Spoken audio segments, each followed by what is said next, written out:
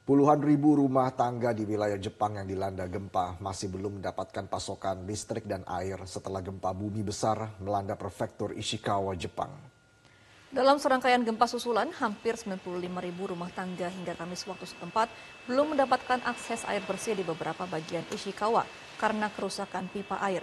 Selain itu, menurut perusahaan transmisi dan distribusi tenaga listrik Hukoriku, sekitar 29.500 rumah tangga masih mengalami pemadaman listrik.